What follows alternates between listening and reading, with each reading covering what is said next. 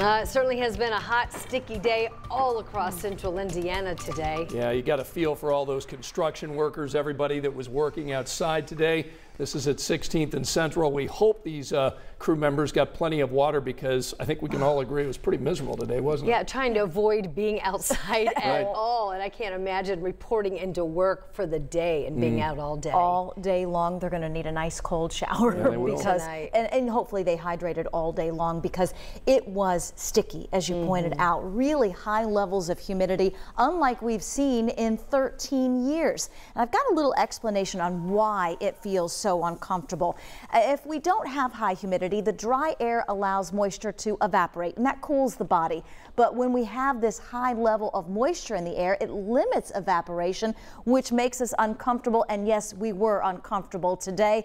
Heat exhaustion safety, we want to make sure you remember this the rest of today and tomorrow as well. We've got one more day of this heat wave. Speaking of those high dew points, we hit 80 degrees for the first time since August of 2010 and we have one more hot, humid day on the way for tomorrow. Made it to 94, so not quite record warmth. That record of 98 still stands, set back in 1936. Our low this morning was a muggy 78. We're not going to get much relief overnight tonight either. 92 degrees right now, but with a dew point of 79, those feels like temperatures still close to 110 all across central Indiana.